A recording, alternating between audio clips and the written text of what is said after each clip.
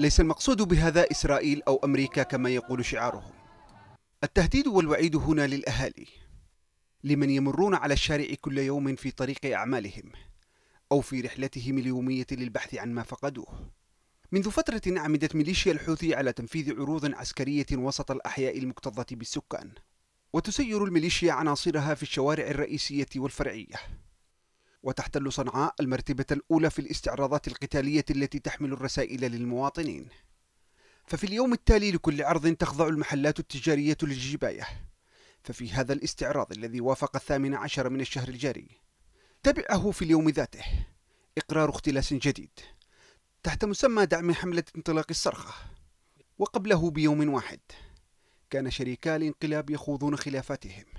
حول اقتسام أموال الزكاة التي لم تعد تذهب إلى أي من مصارفها بل لتغذية الحرب أو لحشد طائفي تنم عنه الشعارات التي تملأ الطرقات وكتيبات ما تزال تنتج أكثر وتضاف إليها المزيد من الأفكار المتطرفة والمتعصبة التي تحكم الحياة داخل سجن كبير.